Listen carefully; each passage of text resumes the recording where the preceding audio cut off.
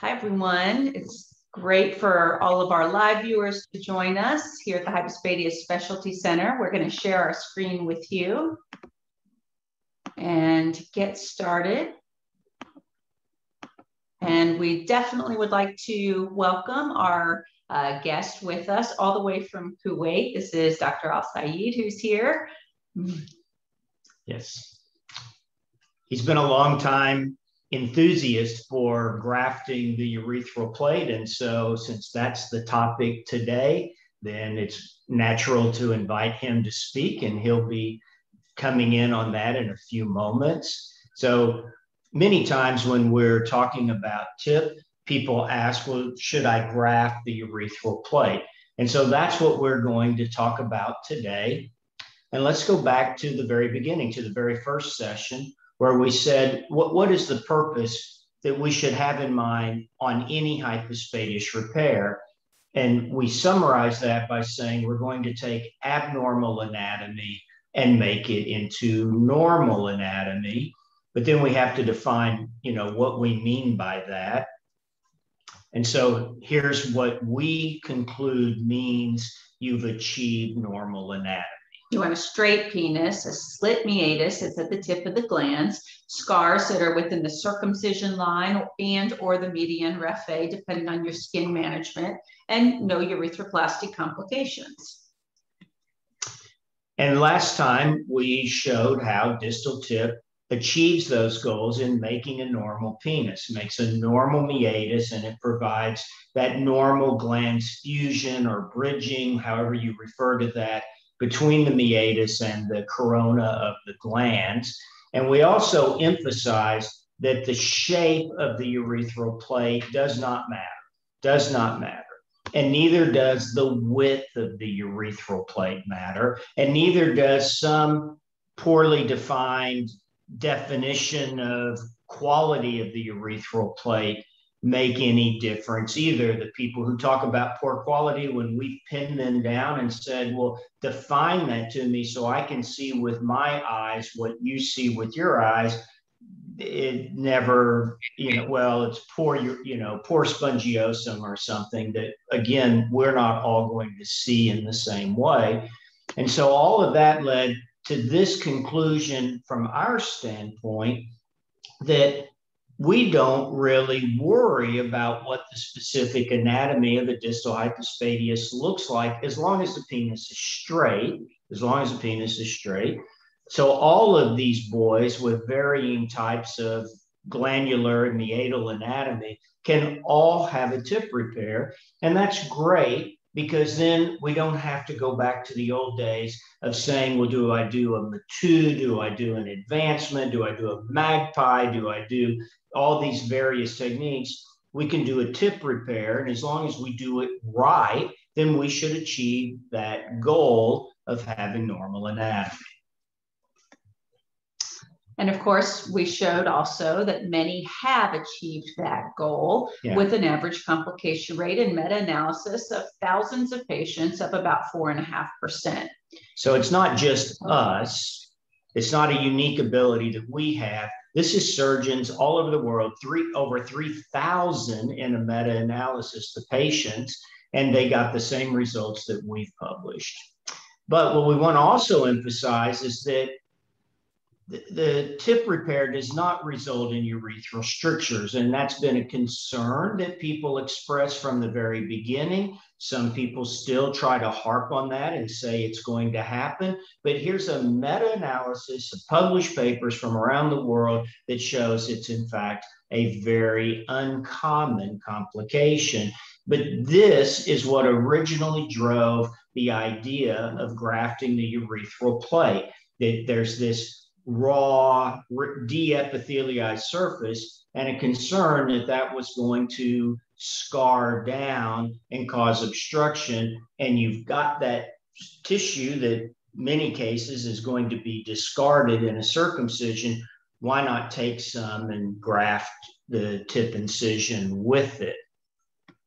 And that led to more people doing G tip in different ways. And Dr. Alsaid is going to talk about his preference because he likes the way it makes the meatus. So he'll discuss that. And other people have talked about reducing stenosis and these other things. Notice that the reason was it might stricture, but since it doesn't stricture, you know, we don't get neourethral strictures. Now people are using other reasons to do it, but fair enough. That's in their mind the reasons they want to graft the urethral plate. But there's been almost no studies that have compared directly tip and G-tip, and, and none that have really shown that you need to do grafting of it to improve results over a tip repair. So just to review, these are our results for distal tip. These were all patients with distal hypospadias with curvature less than 30 degrees. We didn't use any other technique. So we have not used G-tip ever in a primary patient. And there's our results. And so we still do tip for all distal repairs. And we still have a low complication rate.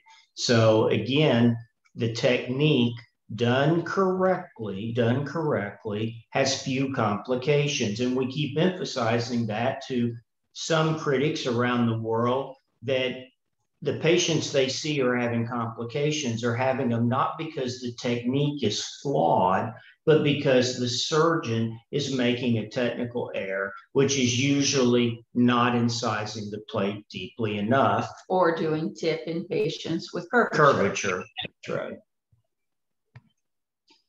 And here's the end result of tip repair. And you can see looking at this that these boys meet that criteria that we established of having normal anatomy. All of these boys have normal anatomy. All of them have normal fusion of the glans under the meatus. So they've all achieved the result we want.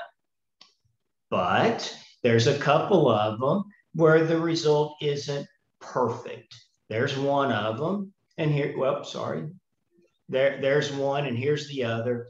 And you see that in those cases, the meatus is down just a little bit from the tip of the glans, where it is in all the other cases. And I think when uh, Nasser has talked to me about his preference for G-tip, that this is what really stimulated him was seeing boys with these kind of results like this and like that and thinking he can avoid that by extending the incision and grafting and, and he will talk about that in just one moment.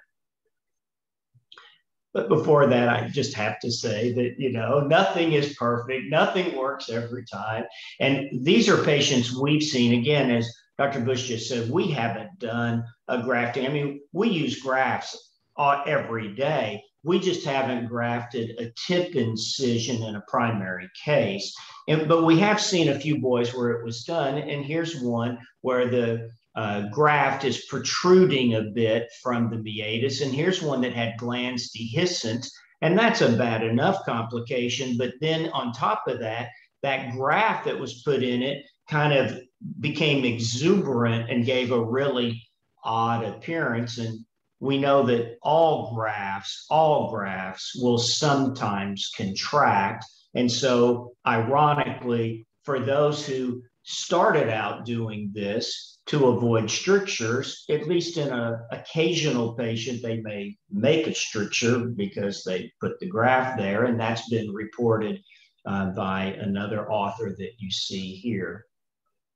So, in any event, Nasser and I and his colleague Mabdu Ahmed have been having this friendly discussion back and forth for many years. You see, I'm visiting their unit and their students, they've got me surrounded and they're trying to convince me you have to start grafting these tip incisions. So now we'll turn it over to Nasser and let him present his views. Go right ahead.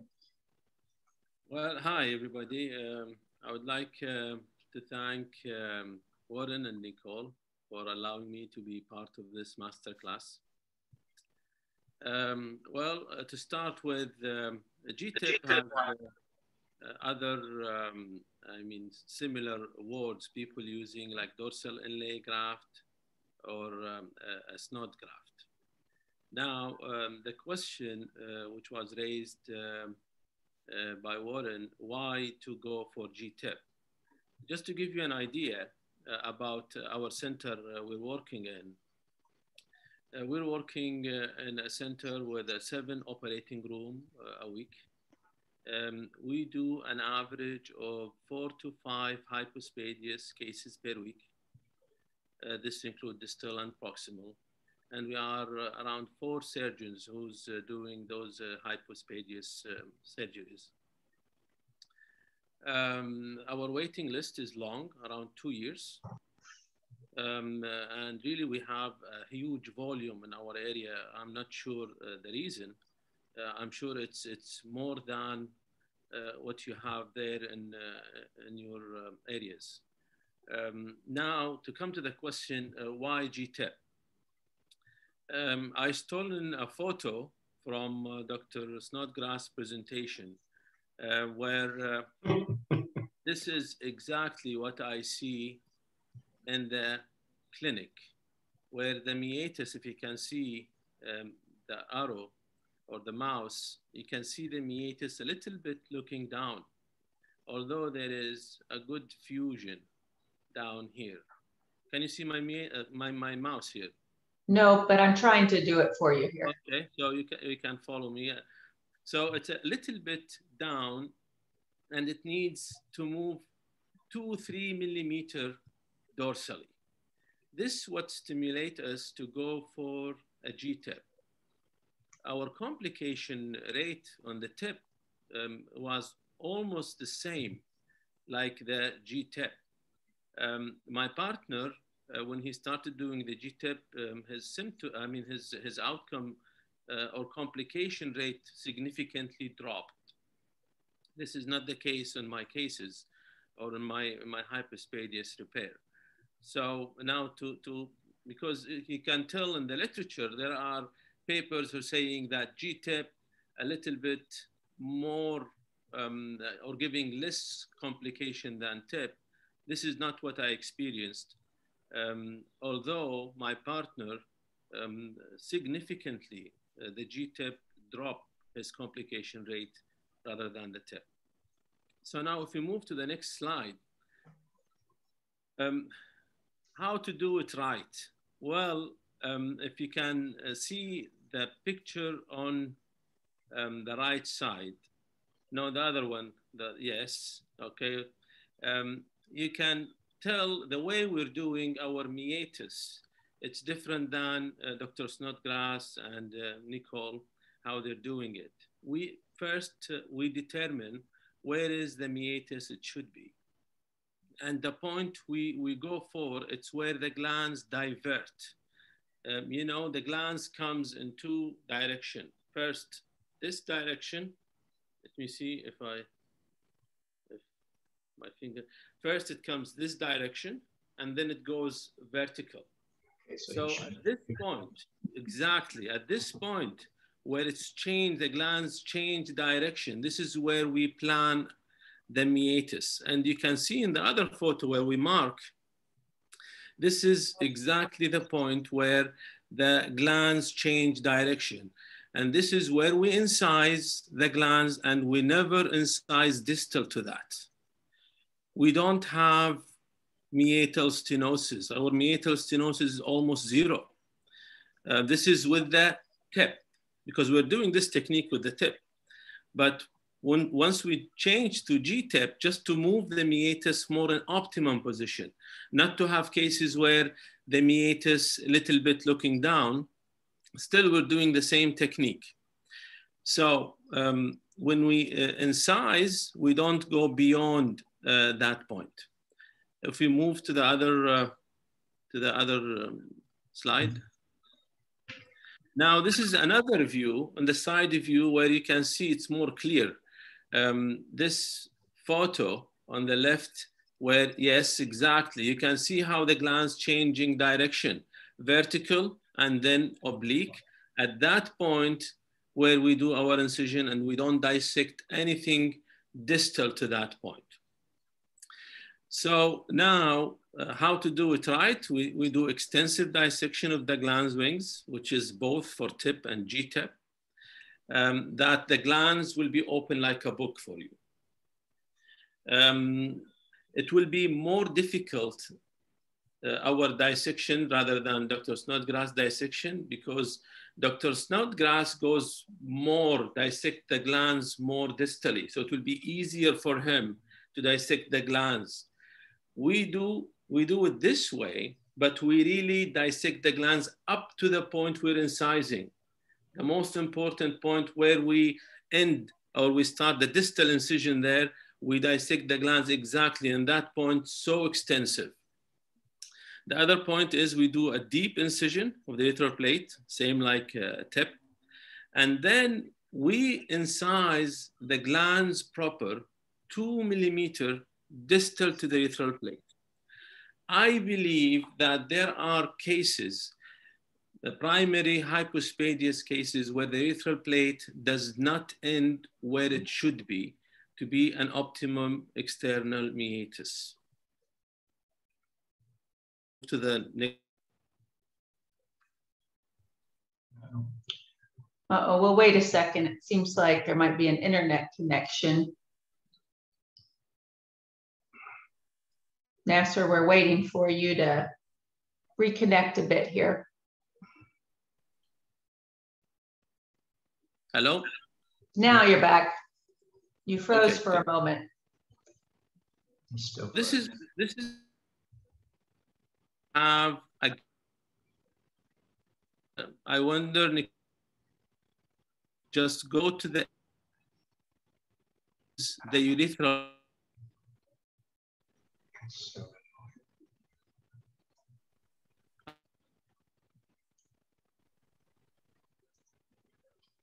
Nasser, we'll give you a second to see. Oh, there, now it looks like you're back.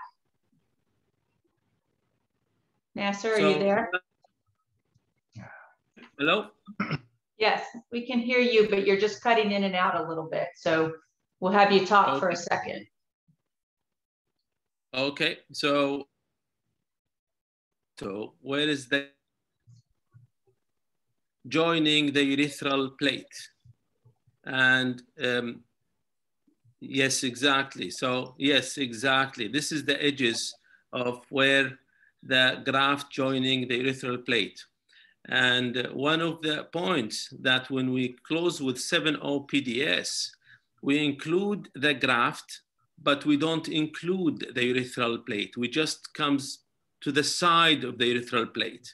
So we don't incorporate our stitches with it exactly where, where Nicole is pointing with the mouse. And if you go distally, you see our incision. Um, distally, you see this is the two millimeter where we incise and it gives you a really an elliptical, beautiful, optimal meatus there. Um, if you can see the glandular wings dissection and our future meatus, if you go horizontally from the tip there to the tip there, this is our future meatus. And I believe that this is an important point to get a wide elliptical meatus where the resistance of the urine when it voided, there is very least resistance and this will bring your complication rate very low by not having a pressure in your suture line. And quilting, we quilt only in the middle. We quilt only in the middle, maybe one, two, three stitches. So if we can move to the other slide.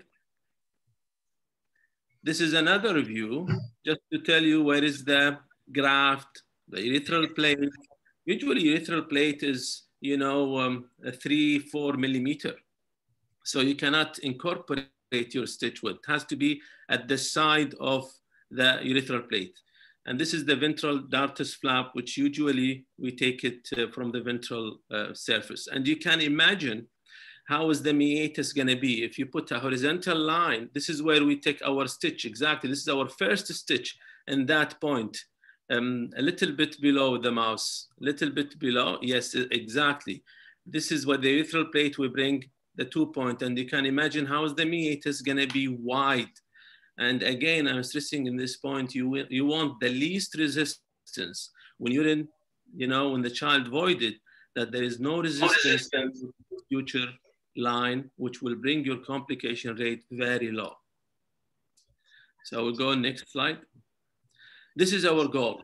Our goal is to have a circumcised looking penis with a nice fusion ventrally.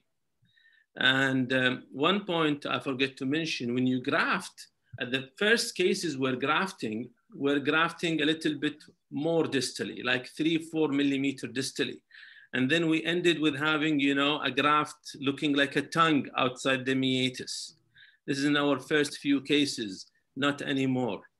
Most of our cases, I would say 96 of our cases, this is cosmetically how they look like. We've been doing this GTIP over 10 years now. And we have a huge experience in that and we are so happy with that technique. I'll move to the next slide. Yeah, we did a study in 2015, um, published in Journal Pediatric Urology, where we have 230 cases and we follow up for five to 36 months. We get a success rate of 96%, excellent cosmetic and functional uh, result. Our fistula rate was around 4%, no meatal stenosis and no urethral diverticulum. At that time, we were not recording our data, uh, I mean by saying um, gland size, urethral plate width, and um, uh, uh, We, we, are not measuring chordee by Meter. And then if you move to the next slide, uh, thanks to uh, Warren, when he visited us um, in Kuwait, he motivated us and encouraged us to keep a data for all hypospadias cases. And this is what we've been doing for the last two years now. We have a prospective uh, study going on, over 200 patients. And we're putting all these data for all hypospadias cases, distal or proximal. You can see the points we're going for gland width, meatal position, chordee degree measurements with a goniometer, and um, chordee, how it's corrected, urethral plate width, graft length width, position of the graft over corporotomies. Um, because now some data showing in the literature that grafting over corporotomies can affect your success rate. So we're, we're studying this and um, we'll see our results. Measurements of the graft post-surgery, length and width, urethral plates, uh, with post-incision after incising. This is when we do a GTIP and glans fusion below meatus after surgery. So all those points we do for all our hypospadias cases and hopefully in near future we'll publish our results. We have uh, another study going on, future um, uh, GTIP and urine flow study. Uh, I'm not sure if this is gonna make a difference in the flow study, GTIP, but our preliminary results and seeing the videos. We're asking the parents to video their kids voiding in, in toilet age, um, uh, toilet trained age patient. And um, their flow is excellent, um, straightforward with good stream. So uh, this is encouraging um, a point if we prove that it makes a difference to go for uh, GTIP. Next. Well, I would like to thank you all for, uh, I mean, listening, and I hope that I added uh, to your information something in hypospadias. Thank you. Now we thank you, and I, I mean that was a great summary and and uh, a good explanation of some important points. We couldn't agree with you more that how you make that meatus is so critical to avoiding meatal stenosis. And you don't have meatal stenosis, we don't have meatal stenosis. And, and so it just shows that a surgeon who's having it more often is doing something that can be improved upon. And so, again, this is kind of the whole thing in hypospadias surgery. If any surgeon watching this is having more complications than what we're talking about, then there's probably something in that person's technique that could be improved. Because if we compare TIP and what you have just presented with GTIP, I mean, they both have low complication. They are both creating normal anatomy with a normal appearance. Tip, you don't have to graft, but you've said, you know, grafting is not difficult. You do it all the time. You're used to doing it. And where we live, some people want a foreskin reconstruction. You live where nobody wants a foreskin reconstruction. So, you know, so this is just kind of a comparison side by side. Well, and I, I, do think that that's an important point because some of you watching live in countries where no one really, or, or very few, want a circumcision, that the normal appearance in that location is a preputioplasty. So there is probably the major difference in terms of your outcomes for a tip versus a G-tip. I have a very difficult time imagining how you would harvest a foreskin graft and reconstruct the foreskin in a functional fashion. So if it's normal to have foreskin covering the glans, then you really want to rethink your definition of things because now you're outside of normal and you're not doing the appropriate reconstruction if you don't keep that in mind. So this is when we look at it, and as I say, we've had many discussions over the years. And what we see, and, and I think you alluded to it, that some of your partners had a higher complication rate with TIP that came down when they started doing GTIP. And we would interpret that in this way. We know that surgeons who come visit us from other places who are having some complications with tip that they come and they watch us do one operation and go oh my gosh i thought i was incising the urethral plate deep like you talk about but clearly i wasn't. And, and we discussed that in the last session and even showed published pictures from other articles where the surgeons did not incise the urethral plate deeply. So we would say the benefit of a G-tip in, th- in that circumstance is just getting surgeons to make the deep incision because then they're not afraid of it because they know they're going to graft it. So and it's it, it, you have to incise it deeply in order to have enough room for your graft. If you did a really superficial incision, there's just not graft. room to put the graft in there. So I think those are two technical points. Yeah. So, what's the answer to this question? Do we tip or G tip? We've had the debate back and forth. Who is the winner? And this is what we would say that we've already said tip achieves normal anatomy. And G-tip achieves normal, normal anatomy, anatomy, as Nasser has just proven. So they both work.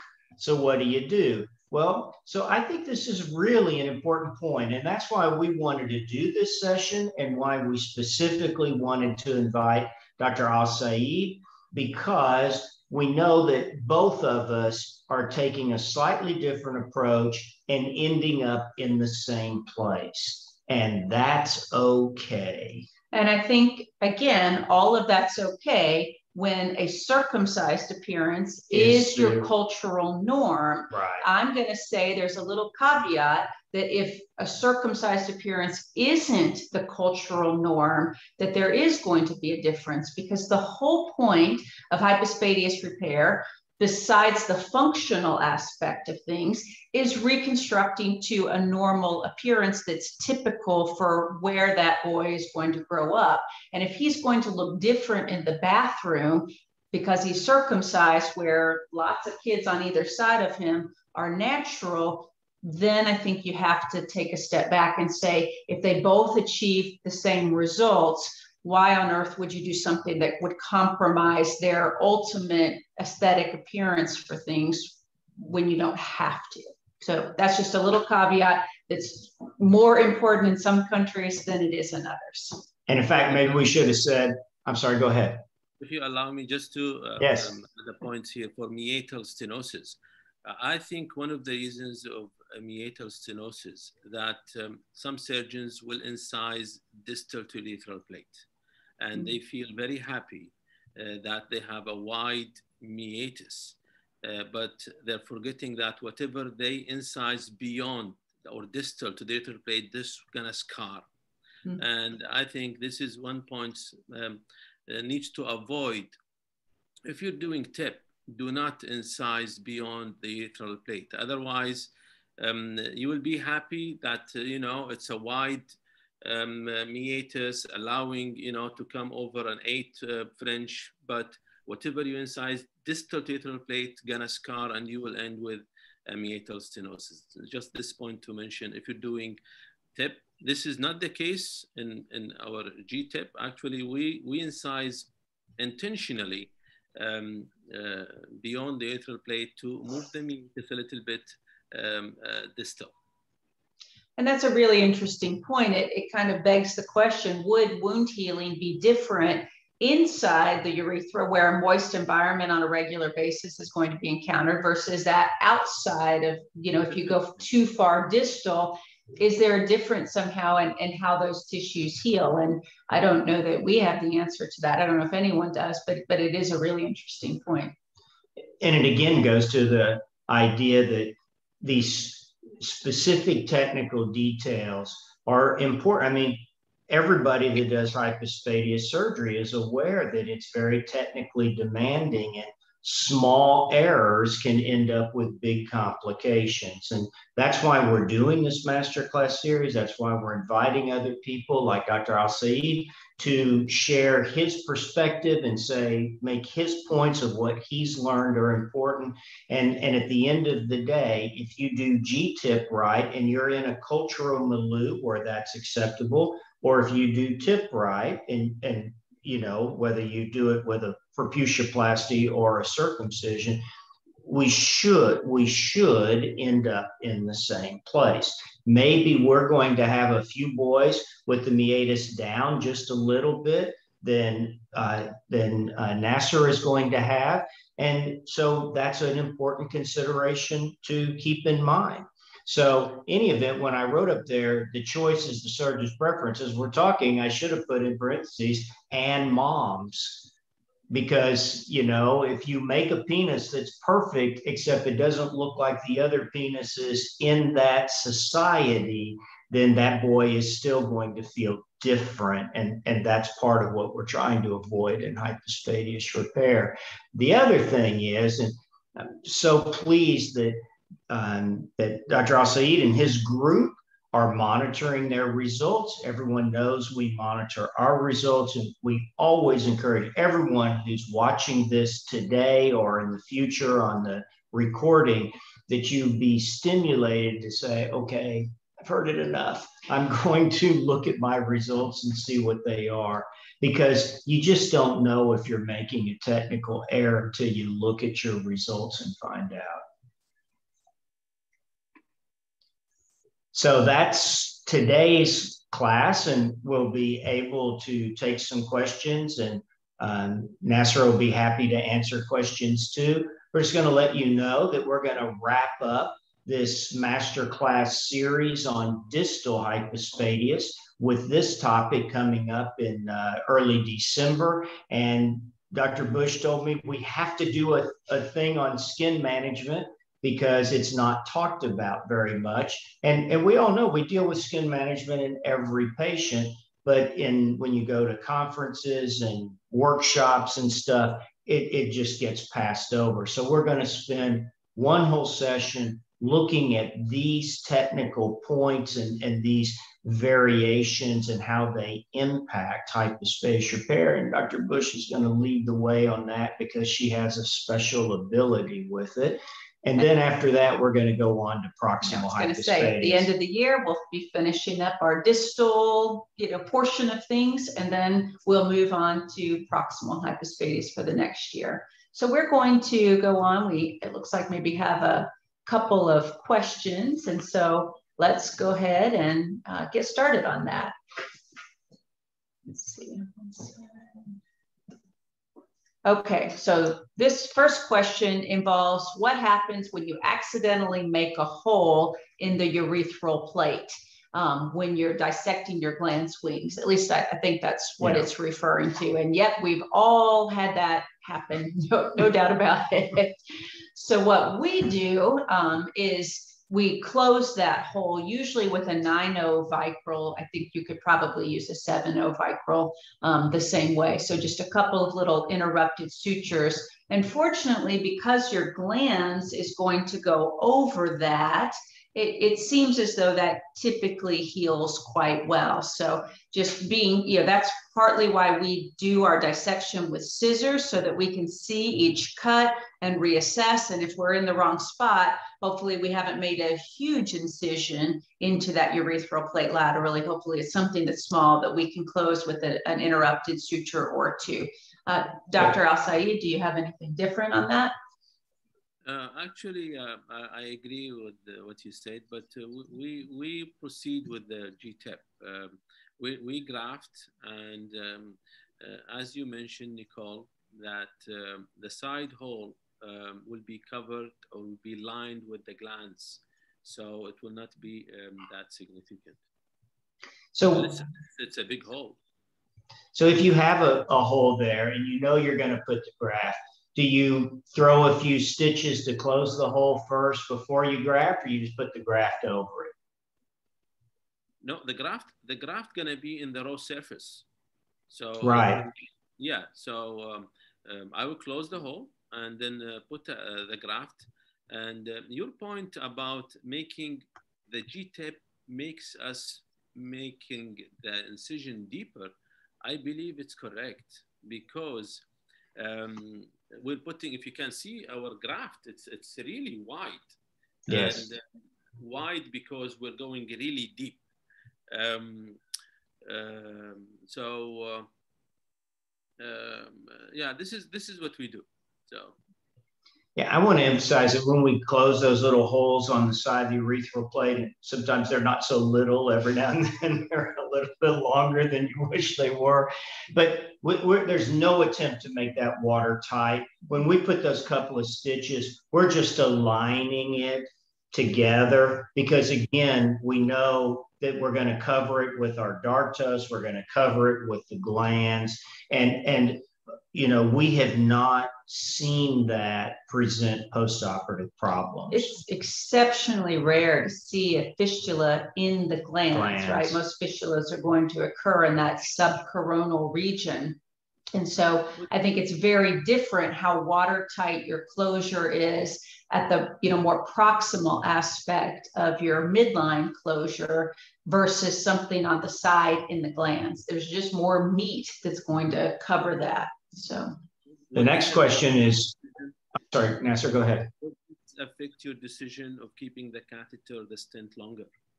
No.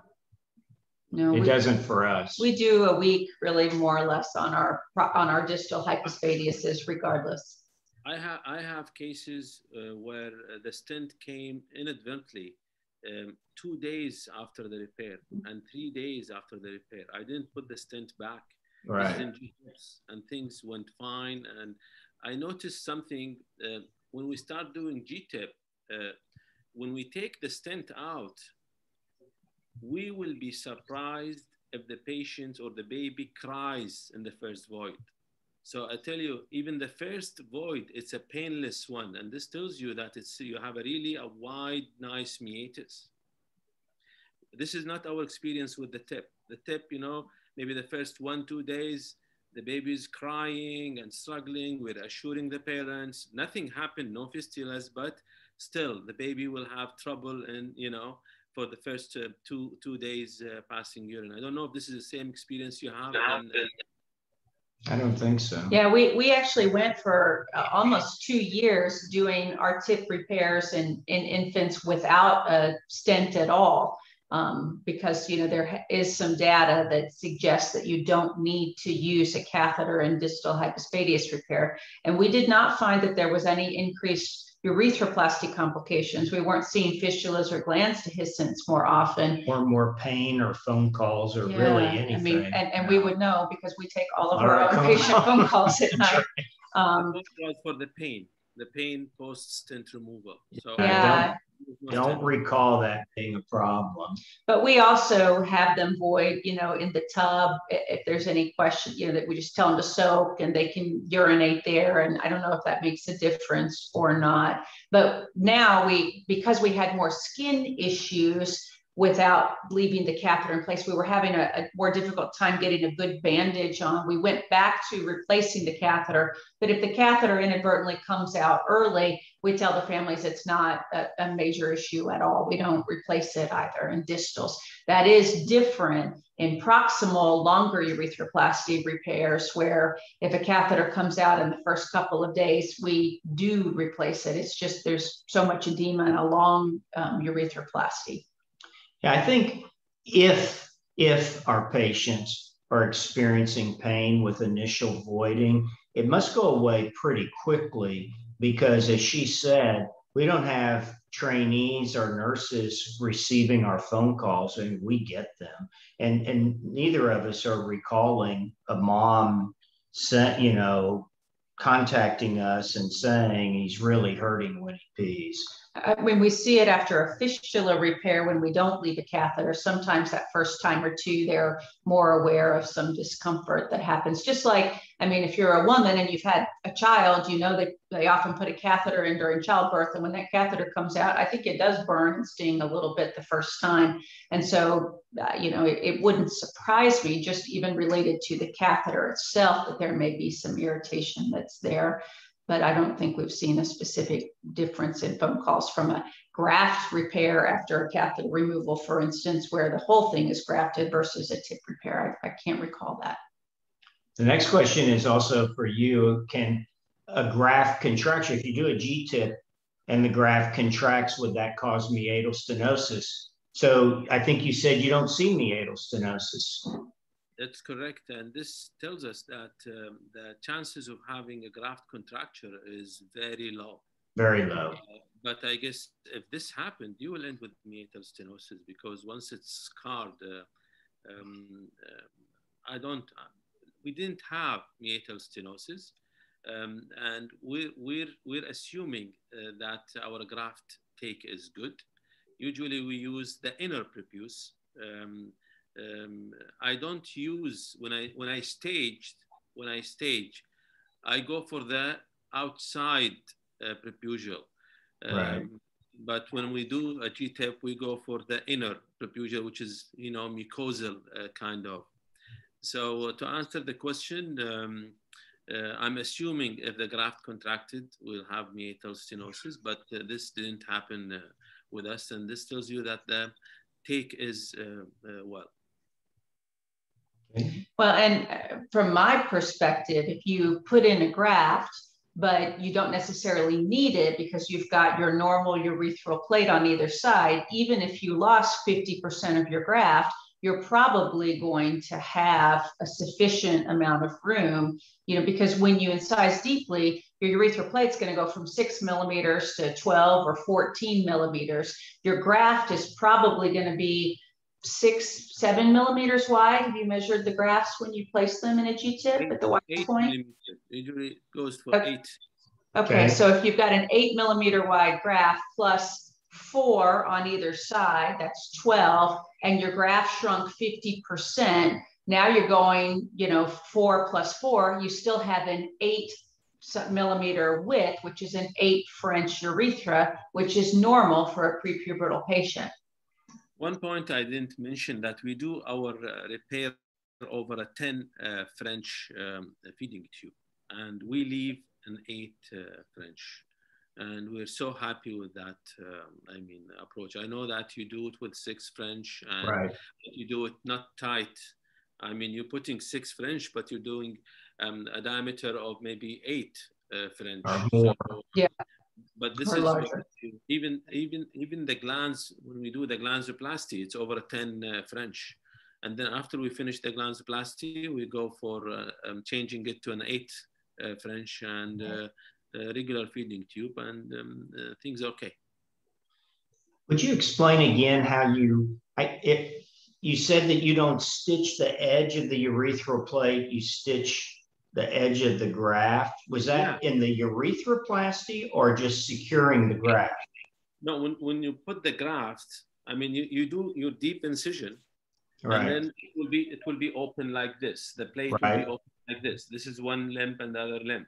So when you put your graft in the middle, um, we the side of the the side of the um, uh, um, plate, we don't incorporate it. Um, we don't incorporate the edge. We just go like you know a subcuticular. Okay, you don't involve you. the you, you don't involve the because it's it's a four millimeter or sometimes three millimeter. If you, right. if you stitch, you will not have um, a place for urethroplasty to, to be done. Got you.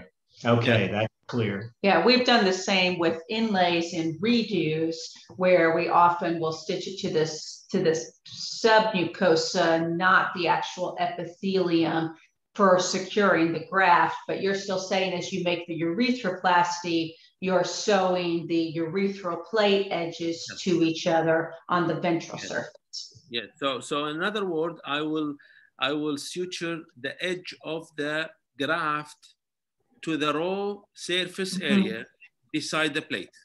Got it. Right.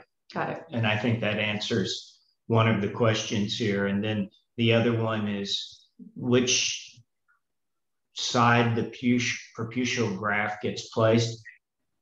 I think maybe they're just asking is the epithelial side up, up or, or, down? down? Um, actually, uh, the way the way it goes. I mean, um, you know, um, uh, the outside it's outside. So and the, and the, the floor.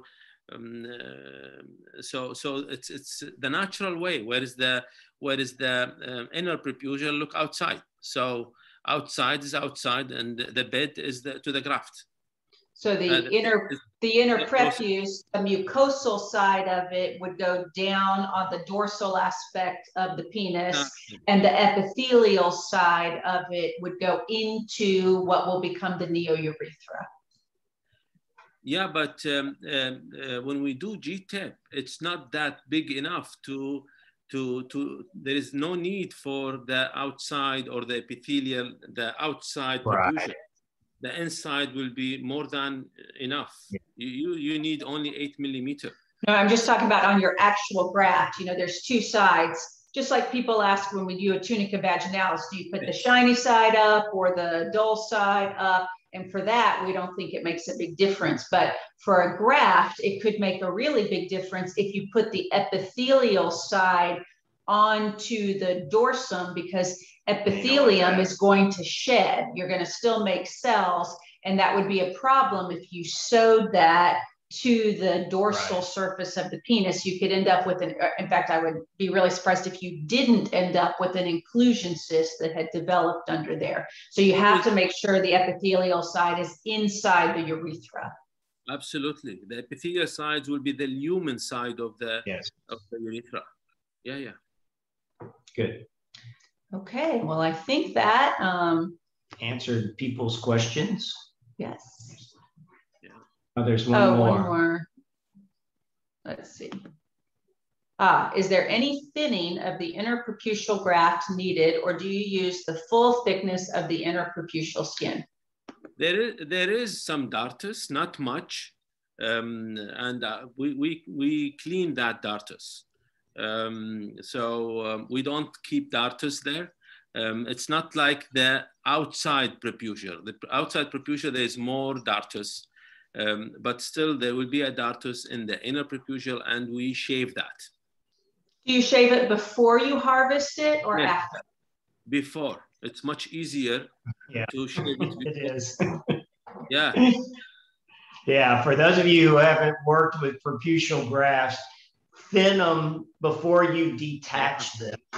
They're much easier. It would be very difficult. Yes, very difficult. And there really, to your point, isn't much to, to thin do, no. on an inner preputial graft. The outer preputial skin, there definitely is it's a layer um, that you'll remove, but the inner preputial, once you really have separated it from the outer prepuce, that that probably is the main thing you have to do. I, I'm assuming. Yes. Um, well, you need to shave, not much to shave from the dartos, um, because if it's bulky, it will protrude outside. You don't need a bulky uh, mucosa. If it's bulky, it will protrude outside. This is from our experience. So, so we we take the dartos from the inner prepuce, although it's not much.